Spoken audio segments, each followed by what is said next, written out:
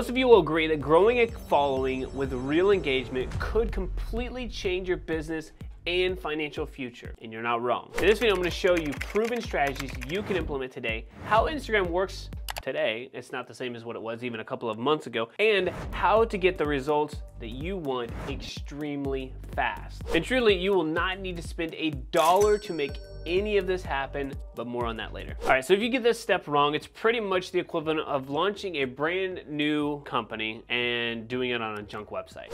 Okay, so we're over here on Instagram. A couple of things that you need to know is how to address your bio. So this is, again, it's much like your website. When people go here, they decide whether or not they're going to follow or engage or look at anything. So first and foremost, you have your username. This is typically, write your business or your company name. And then this is your name plate. If you have a big enough name, this is actually searchable. Gary here, anyway, in the social media world, isn't necessarily using this the way I would suggest, but for you as a clothing brand, you could put your boutique or your brand, and then it should say something about being a clothing brand or apparel brand or streetwear brand, because this is actually searchable. The next thing we need to look at here is tell me why I should pay attention.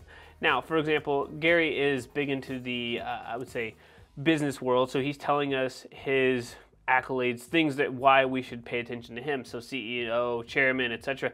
You need to make sure that your bio highlights why somebody should pay attention to you. For example, if you're in the number one boutique in the Pacific Northwest and you serve women who are stressed or full of anxiety, then make sure that you put that here, right? Everybody needs to know why they should and what's in it for them, why they should actually follow you. Next thing you need to make sure that you do is um, actually post stories. Three to seven stories um, every single day. Preferably, you actually pull out your phone and you talk to camera. It's a much better experience to do it this way. Sharing content or reposting your stories does okay, but not nearly as effective. And then I would say the biggest one here, and Gary's using this as well, is right. So this is a new book, Day Trading Attention. Highly suggested, by the way. You can use highlights which are basically saved stories to explain things that may be a little bit more complex. For example, you may, again, from that brand that I'm talking about, the boutique, you could talk about things to do in the Pacific Northwest, or you could do, you know, meet the founder, or you could do, you know, try-ons or day in the lives. And so you could give people a really quick idea of who it is that's actually on this profile and why they should follow you.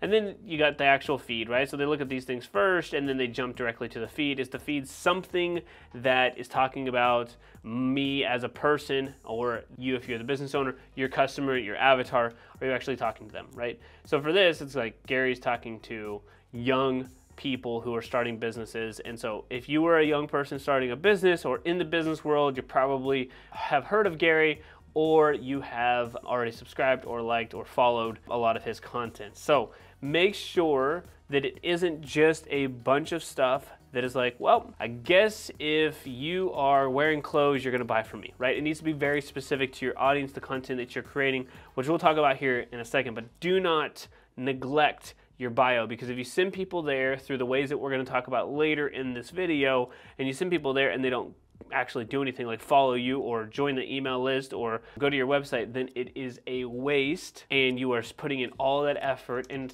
I've talked to many people who do not grow because they send people to their profile and they're like, wait, my content was good, but they didn't follow.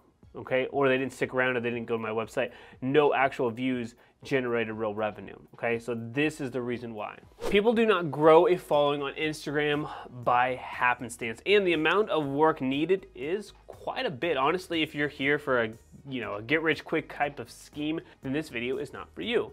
But if you want a business that will last the test of time, then you will need to create content the right way and do it consistently over time. It's not that I don't want you to make money quickly. That's not the case. I want you to make money quickly, but I'd rather your business be around in the next three, five, ten years versus you are a flash in the pan for three to six months. Anybody can do that. Anybody can go viral and then fall off it'd be harder to go viral and stay on. And so we're going to build the foundations here of what a good profile is, how Instagram is going to help you, and more importantly, how you can take advantage of it while it's still one of the top platforms for your brand. All right, so let's get into the posting frequency challenge and what to post. It's very, I think, powerful. We do this a lot with our OSO members. But before we do that, I just wanted to say, hey, howdy, and hello. My name is Aaron. I'm one of the co-founders here at Bit Branding. And alongside my business partner, Christian, we specialize in helping clothing brands scale online. In the last 12 months alone, we've helped over 250 clothing brands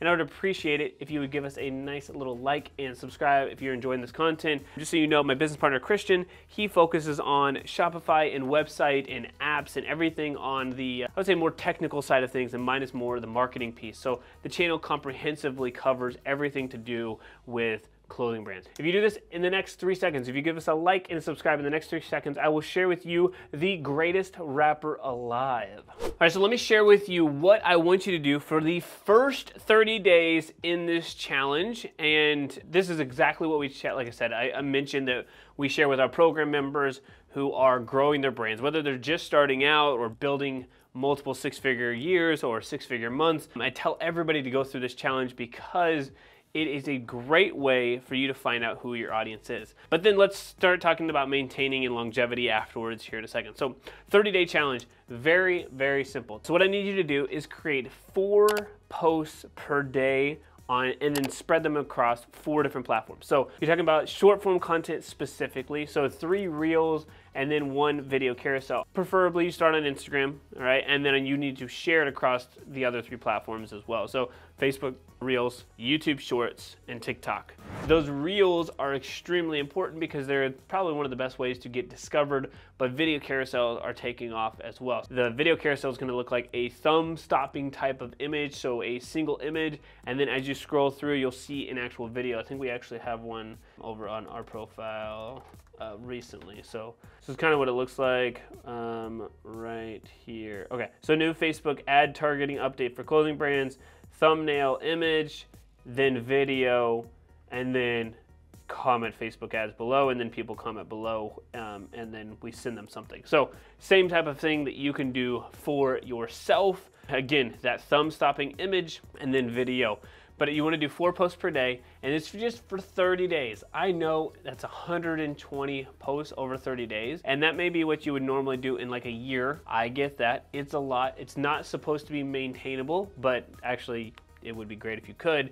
But the point is to get better at creating content, understanding your audience, and more importantly, what it will actually take to grow your brand. Because if you do that, when you do this challenge, you will get more followers, you will get more views, you will get more traffic to your site, you will make more money. And so, yes, this is um, the hard work part. I'm not going to tell you that you need to. No, we're going to get into this actually. I'm going to tell you a couple of little, you know, one off things that you can do to make your profile better and to reach more people. Sure, we're going to get into that here in a second. But the best way to reach more people and actually make money, because I think that's why you're here, is to do what I'm saying here, right? Do that 30 day challenge. Now let's talk through some very small details, like I mentioned earlier, that will make or break your growth and it will speed up the likelihood of reaching more people.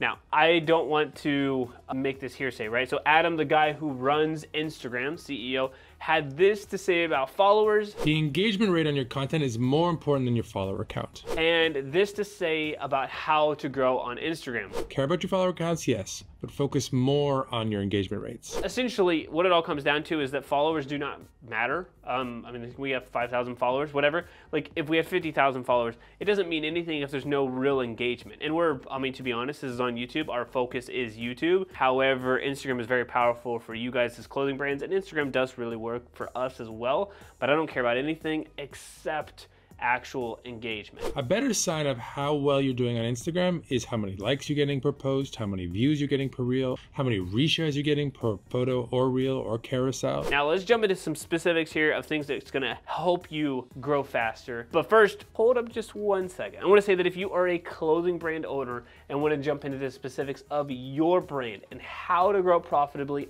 online, you can schedule a free 45 minute strategy session with us. All you need to do is check out the link in the description down below. There are limited spots literally. So just go grab a time right now. Okay, first thing I need you to do is unfollow everyone who is not relevant to your niche. I mean, everyone. I only want you to engage with people and brands that are in your niche. That's it. This is a business profile, so let's treat it like one. For all of you who are like, I got a personal brand and I treat my personal like my business and vice versa, don't do that. Don't do that. You need to treat your business like an actual business. I need you to also go and engage. You posting and expecting people to engage with you makes no sense if you're not going to engage first, especially people just starting out. Spend 15 to 30 minutes per day, right? Not too much. I know you're already on there. If you don't know how long you're on there, just like open up your iPhone or whatever you have, like iPhone specifically. Scroll to the left and then tell me how many hours you're on social media and tell me you don't have 15 to 30 minutes. I'll wait.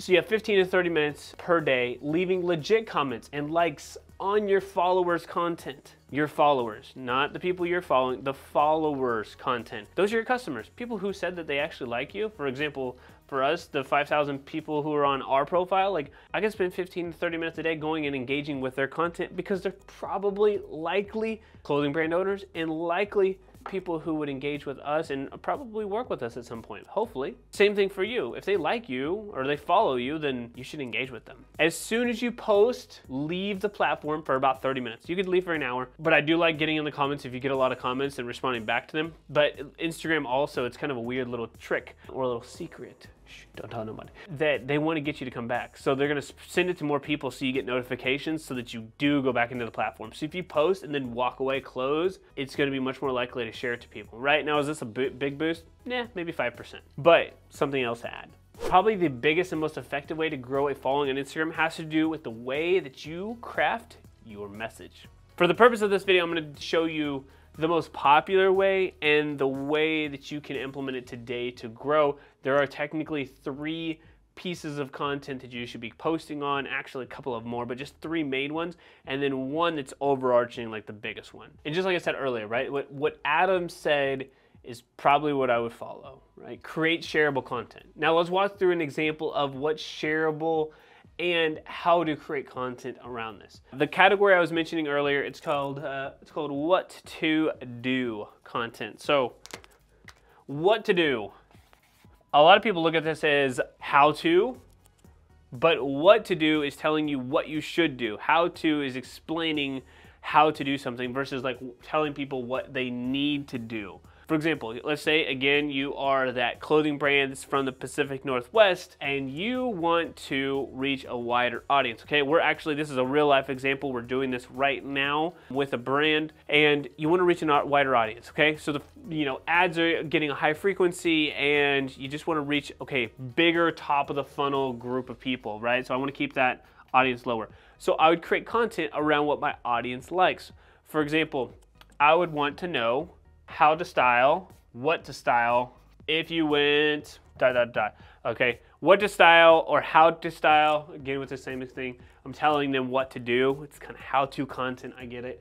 I know it's a little confusing. But what to style or how to style going to the beach in 2024.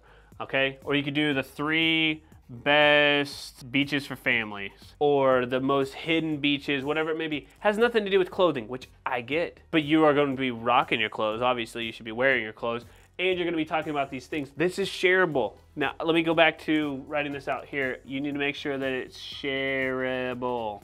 Hopefully, I spelled that correctly. Make sure that it's shareable. Did I spell it correctly?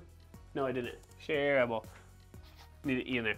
So, I'm going to leave it in here. So, make shareable content. What's shareable? Big top of the funnel stuff. Now, you guys are probably great at creating content that's like, here's my outfit or here's a flat lay and it's very specific to the audience and you're calling them out and that's completely fine. That content is good. It's going to hit a warm audience. But when you when you have a circle here, and let me just make sure that this is actually shown here. We have a circle here and you have your actual audience like here. That's we'll just label it real quickly.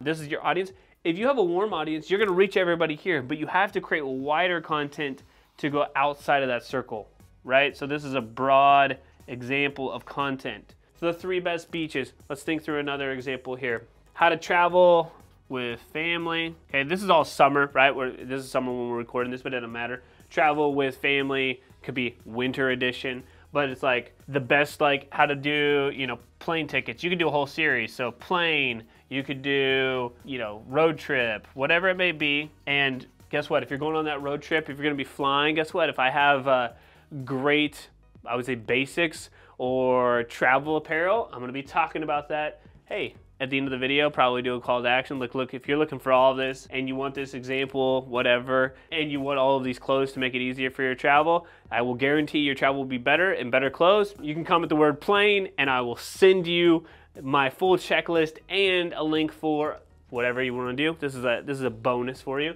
Great offer. Putting a bunch of text here to just say whatever's going on, but my point is brainstorm, think, do research about what type of content that is shareable.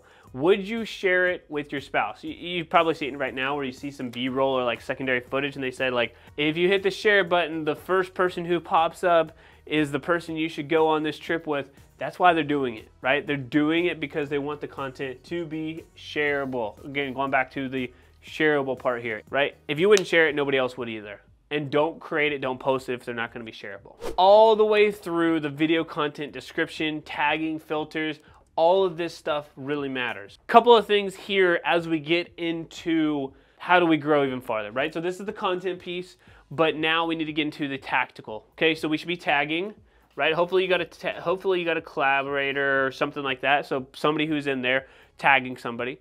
I want you to also tag not only the people, but location. Okay, that's searchable. You also have filters. Use filters. A best, the best way to use a filter if you don't want to have a bunch of glaze and you're like, I don't want to mess with photography or anything like that, use a 4K filter. The other way that you can be searchable is through music. And one little trick, if you don't know this, is go searching on Reels. So for example, you can go to Reels here and we'll see what pops up. You can actually click on the actual reel this way. You can save it all right, so save the audio, and then that's a great way for you to create your new reel. Even if you have a business profile or you can't use music that's licensed, this is a great way to do it, is to go to the actual reel, save it, and then go create your new reel from the song. Now, you can't just go search for the one that you want automatically, but that's why you should be prepping ahead of time. So it's searchable by music, through your filters, location, collaborators, and, and then people.